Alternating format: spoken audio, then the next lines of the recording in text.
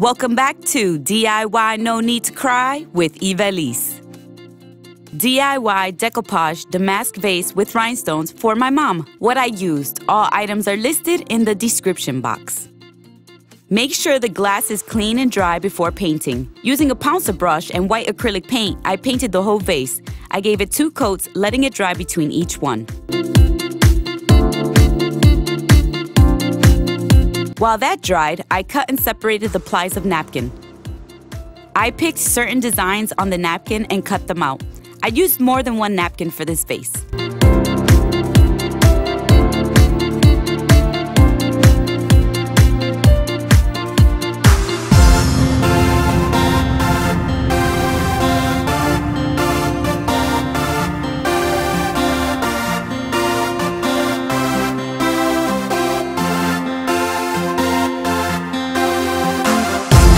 Once the vase was dry, I placed Mod Podge on the spot where I was going to place the napkin.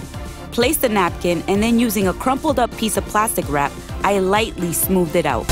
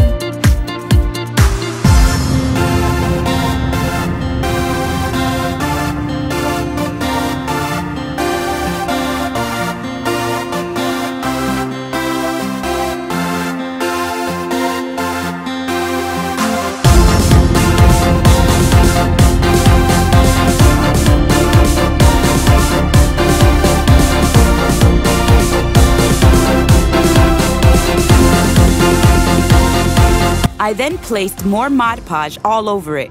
Do this with all your pieces, letting it dry between each one.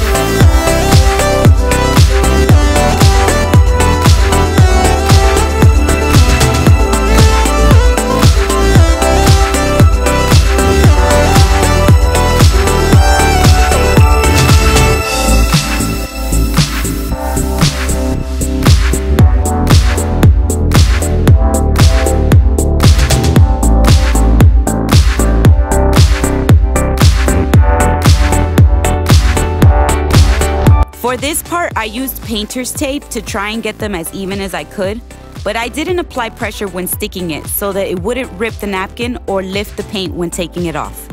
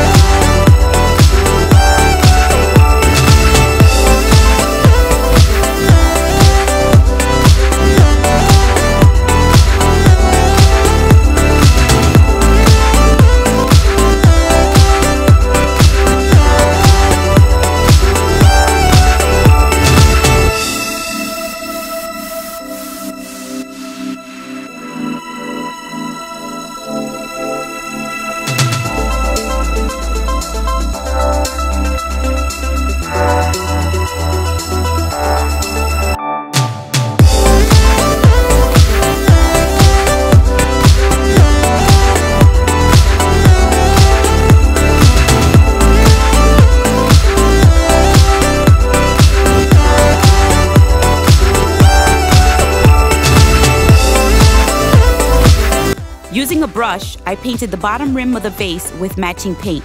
I gave it two coats and again, letting it dry between each one.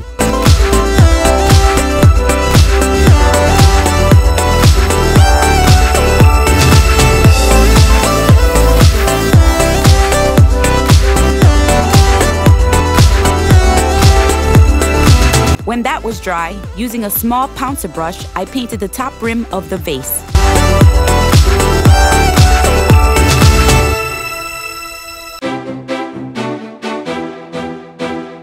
Once the whole vase is dry, I sprayed it with a clear gloss spray.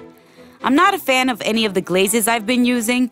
That's why I keep trying different ones. When I find the one I really like, I'll let everyone know. Finally, using Mod Podge, I glued all the rhinestones in sections, letting it dry between each one. Let the whole vase dry, and you're done. The colors and sizes I used are in the description box.